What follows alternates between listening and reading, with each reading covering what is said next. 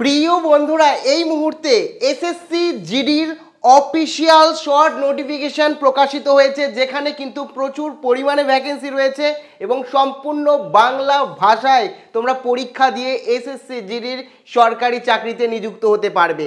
সমস্ত ডিটেলস কবে থেকে আবেদন প্রক্রিয়া শুরু হচ্ছে, কারা আবেদন করতে পারবে, কি এলিজিবল ক্রাইটেরিয়া রয়েছে, কীভাবে সিলেকশন হবে, এ এক্সাম কবে রয়েছে এবং কত টাকাই বা তুমি এই এসএসসি জিডি পদে নিযুক্ত হলে সরকারিভাবে পাবে, সমস্তটা বিস্তারিত এই ভিডিওতে তোমাদের সঙ্গে আলোচনা করব। তো সবার প্রথমেই বলে রাখি পোস্টের কথা। দেখো, এই পোস্টের ব্যাপারে এখন যদি বলি, সেরকমভাবে প্রপার যে এতগুলোই পোস্ট রয়েছে, সেরকম ব্যাপার না। শোনা যাচ্ছিল চল্লিশ হাজার, এখন শোনা যাচ্ছে আরও বেড়েছে।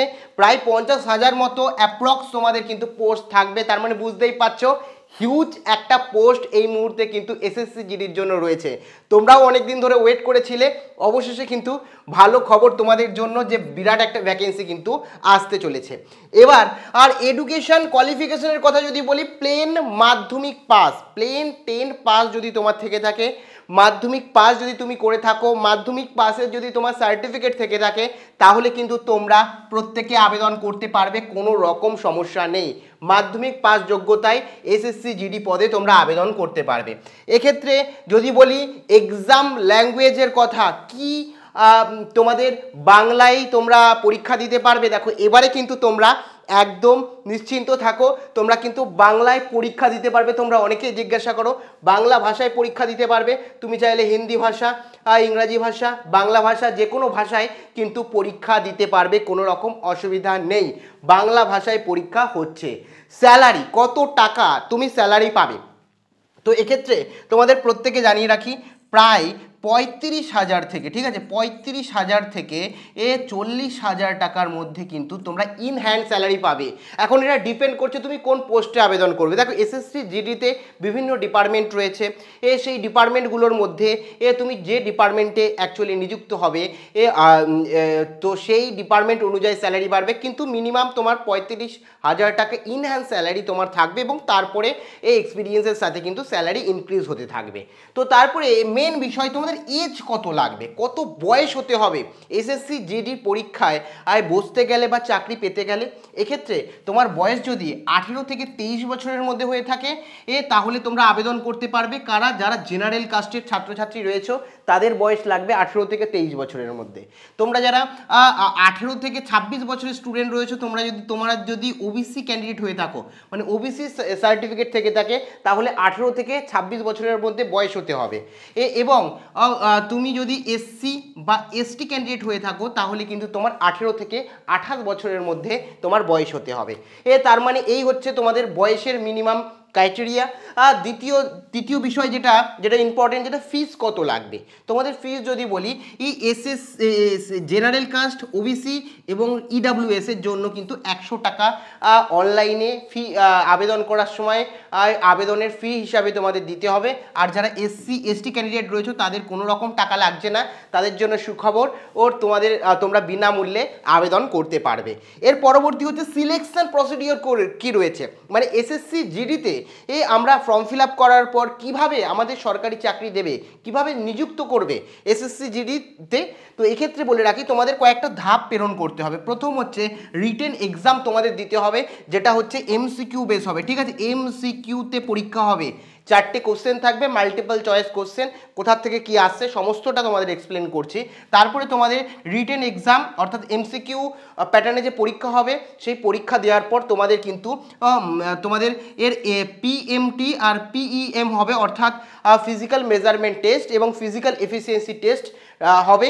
এটাও বলছি কি এক্সামে কি কি হবে ফিজিক্যাল মেজারমেন্ট টেস্ট এবং এফিসিয়েন্সি টেস্টে তারপরে হবে তোমাদের মেডিকেল টেস্ট এবং তারপরে হবে ডকুমেন্ট ভেরিফিকেশন ঠিক আছে? এই কটা ধাপ পেরিয়ে গেলে কিন্তু সরাসরি সরকারি পদে তোমরা এসএসসিতে যোগদান করতে পারবে। এক্ষেত্রে বলে রাখি, তোমরা যখন ফর্ম ফিল করবে, তোমাদের এ অ্যাকচুয়ালি সিলেক্ট করতে হবে first preference second preference third preference তো প্রথমে, এ, তুমি ধরো রাখলে সিআরপিএফ সিআরপিএফ রাখলে, ঠিক আছে? মানে বিভিন্ন ডিপার্টমেন্টগুলো যেগুলো রয়েছে, সেই ডিপার্টমেন্টগুলোকে তোমাকে চুজ করতে হবে। এবার সেই তোমার যে নম্বর আসবে রিটেন এক্সাম তার নিরিখে কিন্তু তোমার প্রেফারেন্সগুলোকে দেওয়া হবে। এইরকমভাবে তুমি লিস্টিং করবে, তারপরে কি থাকবে, তারপরে কি লাগবে ডিপার্টমেন্টের অনুযায়ী। ধরো তুমি যেটা চাইছো সেই অনুযায়ী তোমার যদি কার্ট আপ থাকে, এ তাহলে তোমাকে এটা দিয়ে দেওয়া হবে। যদি কার্ট আপ না থাকে, তারপরে দ্বিতীয় ধাপে যে ডিপার্টমেন্টে রেখেছো, সেই ডিপার্টমেন্টে তোমার চাকরি হবে এবং সেই অনুযায়ী কিন্তু স্যালারি হবে। তো এটা নির্ভর করছে তুমি ফর্ম ফিল আপ করার পর প্রেফারেন্স কোনটাকে দিচ্ছ? সেটার উপর ঠিক আছে? এর পরবর্তী বিষয় হচ্ছে সিলেবাস নিয়ে কি সিলেবাস থাকবে, ঠিক আছে?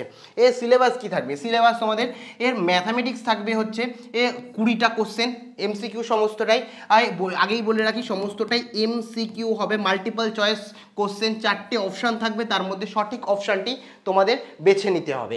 তো এক্ষেত্রে এ প্রত্যেকটা এমসিকিউর জন্য এক একটা কোশ্চেনের জন্য দু নম্বর করে থাকবে। অর্থাৎ ম্যাথামেটিক্স থেকে কুড়িটা কোশ্চেন আসবে, দু নম্বর করে চল্লিশ নম্বর ম্যাথ থেকে থাকবে।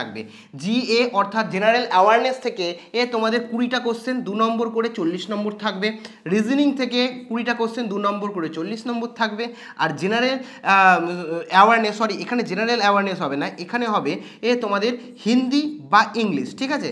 হিন্দি বা ইংলিশ যে কোনো একটা ভাষায় তোমাকে পরীক্ষা দিতে হবে। মানে এখানে তোমার গ্রামার হিন্দিতেও তোমরা, হিন্দি গ্রামারও দিতে পারো তোমার ইংলিশ গ্রামারও দিতে পারো। যেটা ইচ্ছা তোমরা দিতে পারবে, কুড়িটা কোশ্চেন আসবে, যেখান থেকে কিন্তু চল্লিশ নম্বর থাকবে। টোটাল যদি দেখো, ও সব মিলিয়ে একশো ষাট নম্বরের পরীক্ষা হবে, চল্লিশ চল্লিশ চল্লিশ চল্লিশ করে।